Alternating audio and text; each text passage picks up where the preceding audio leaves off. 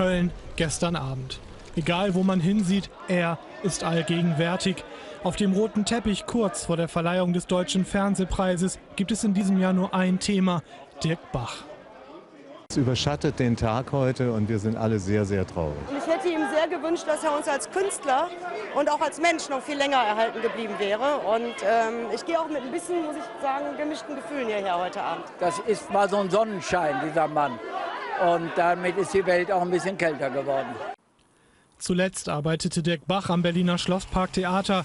Als er vorgestern überraschend nicht zur Probe erschienen war, schaute der Regisseur nach ihm und fand ihn tot in seinem Apartment. Dort lagen Medikamente gegen Bluthochdruck, Herzinsuffizienz und Cholesterinsenker.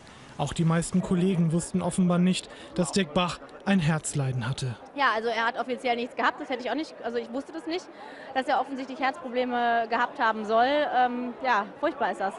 Furchtbar. Die Staatsanwaltschaft bestätigte inzwischen, dass es keine Hinweise auf ein Fremdverschulden gebe und deshalb auch keine Obduktion. Wann Dirk Bach beerdigt werden wird, steht noch nicht fest, wohl aber, dass er vielen fehlen wird.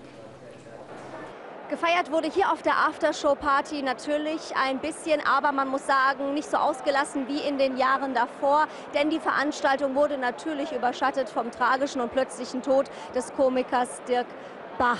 Aber sehr emotional auch der Moment, äh, als Frank Elstner den Preis für sein Lebenswerk bekommen hat. Da war er wirklich zu Tränen gerührt, hat auch seine Familie mit in seine Rede eingeschlossen und das kam im Publikum wirklich sehr, sehr gut an.